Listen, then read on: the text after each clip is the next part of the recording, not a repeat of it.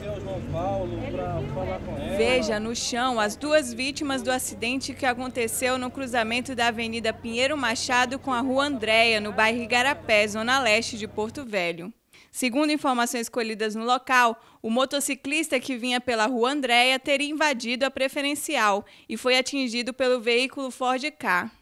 Ele teve fratura exposta no pé e a passageira sentia fortes dores no momento do atendimento realizado pela equipe do Corpo de Bombeiros. O veículo K chegou a quebrar o muro de um terreno próximo ao local do acidente.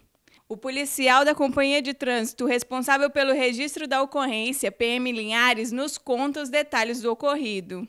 Segundo informações que nós colhemos e foi passado pelo nosso centro de operações, tinha acontecido um acidente aqui na Pinheiro Machado com a Andréia. No local a gente averigou que realmente constatava o acidente e informações preliminares é que esse um Ford K vinha pela Pinheiro Machado e a motocicleta junto com o condutor e seu passageiro avançaram a preferencial aqui na Andréia, né?